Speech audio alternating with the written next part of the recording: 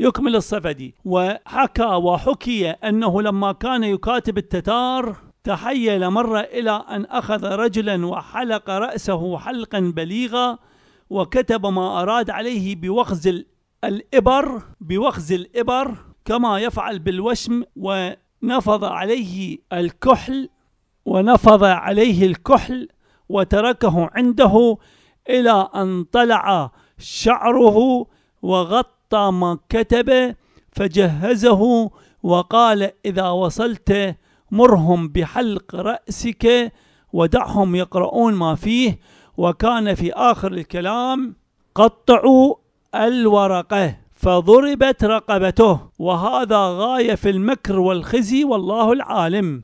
تعليق خزعبلات روزخونية واسألوا الصفدي وابن تيمية عن حجم رأس ذلك الرجل وهل هو بقدر حجم رأس الرب الشاب الأمرد أو رأس الرب القرد أو البقرة أو الطير أو غير هؤلاء من أرباب؟ وهل استوعبت الرسالة والكتابة كل الخطط العسكرية ونقاط الضعف والقوة في جيش الخلافة وحكومة بغداد؟ وهل كانت الرسالة متضمنة لخرائط ومخططات وهل فيها صور عن القطاعات العسكرية والدوائر الأمنية والإحداثيات الدقيقة كي يتم قصفها من قبل طيران هولاكو؟ وهل تضمنت الرسالة صور الأرباب التيمية المليونية والمليارية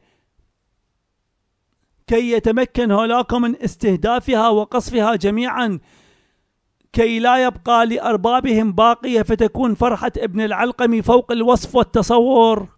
التفت جيدا واحذر جدا من منهجهم المعتاد حيث يكذب أشرهم الكذبة ثم يأتي من بعده أو يأتي آخر فيأخذها من المسلمات ويضيف عليها خرافة جديدة فيأتي من بعده فيأخذ ذلك من المسلمات ويضيف إليه أكذوبة خرافية جديدة وهكذا إلى يوم ظهور الدجال فتكون نهايته ونهايتهم على يدي المنتظر المهدي الخليفة الإمام الثاني عشر وكما وعدنا بهذا الرسول الصادق الأمين صلى الله عليه وآله وسلم.